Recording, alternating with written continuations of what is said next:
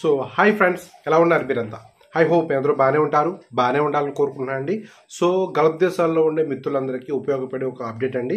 అదేంటంటే ఈ మధ్యన రీసెంట్గా ఈ మధ్యన కొందరు మిత్రులు ఇండియా నుండి విదేశాలకు వెళ్తూ లైక్ గల్ఫ్ దేశాలే పెట్టుకోండి విదేశాలకు వెళ్తూ వారికి నిర్దేశించిన లిమిట్ కన్నా ఎక్కువ మొత్తంలో క్యాష్ అంటే లిక్విడ్ క్యాష్ మన నోట్స్ రూపంలో లిక్విడ్ క్యాష్ని క్యారీ చేయడం వల్ల కస్టమ్స్ అధికారుల దగ్గర చాలా ఇబ్బందులు పడ్డారు.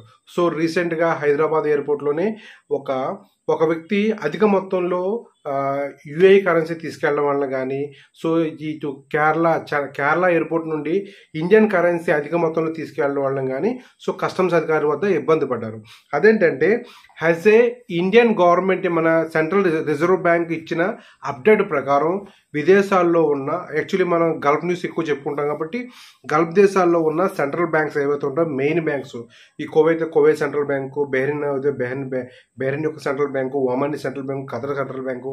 So వీళ్ళు ఆ ఆ దేశం యొక్క ఆర్థిక వ్యవస్థను కంట్రోల్ చేసే కొన్ని బ్యాంక్స్ ఉంటాయి. లైక్ మన ఇండియా మన రిజర్వ్ బ్యాంక్ ఎలాగో ఆ విధంగా అనమాట అయితే ఈ బ్యాంకులు ఇచ్చిన సమాచారం ప్రకారం ఇండియా నుంచి మీరు విదేశాలకి లైక్ గల్ఫ్ దేశాలకి వెళ్తున్నారంటే ఇరవై ఐదు వేల రూపాయలు అక్షరాల ఇరవై ఐదు వేల రూపాయలు మీరు క్యాష్ లిక్విడ్ క్యాష్ తీసుకుని వెళ్ళొచ్చు.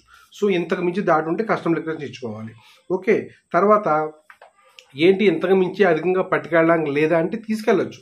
అది ఎలాగంటే ఎన్ఆర్ఐ స్టోర్ వాల్యూ కార్డ్స్ ఉంటాయి. అవి కానీ లేదా ట్రావెల్ చెక్కుల ద్వారా కానీ బ్యాంక్ డ్రాప్స్ ద్వారా కానీ అధిక మొత్తంలో డబ్బు ఎంతనే తీసుకెళ్ళొచ్చు. ఓకే? నెక్స్ట్ ఇరాక్కి లిబియాకి వెళ్ళే వాళ్ళు మాత్రం అప్ టు ఐదు వేల డాలర్లు విలువ గల నగదును తీసుకెళ్ళొచ్చు. రష్యాకి వెళ్ళే వాళ్ళు రెండు లక్షల యాభై వేల నగదు తీసుకెళ్ళొచ్చు. అయితే సౌదీకి హజ్కి వెళ్తున్నారా?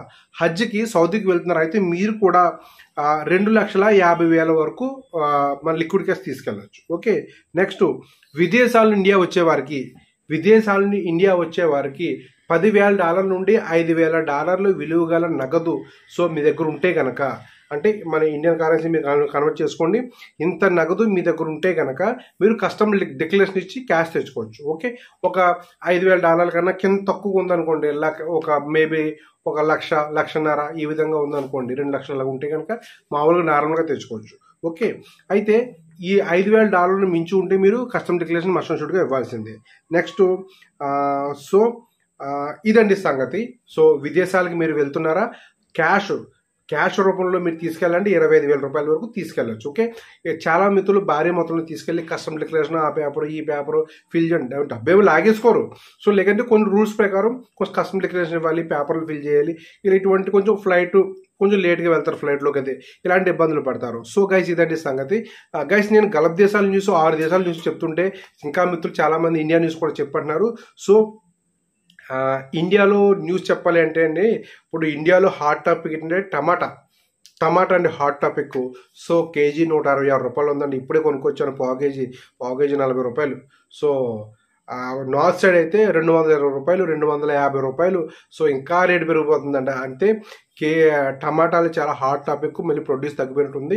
సో నేను నేను కొత్తగా సైట్ కొన్నాను కదండి సగం సగం పార్కింగ్ కార్ పార్కింగ్ సెట్ వేసి మిగిలిన దాంట్లో టమాటాలు పండిందాం అనుకుంటున్నాను. సో నిజంగా రంగు పడుతుంది టమాటాలు కొనడానికి వెళ్తుంటే. సో చాలా మంది ఇంతకుముందు ఈ అరకేజీ పాకేజీ ఇరవై రూపాయలు అలా ఉండేది. ఇప్పుడే నలభై ఐదు రూపాయలు పెరిగిపోయింది.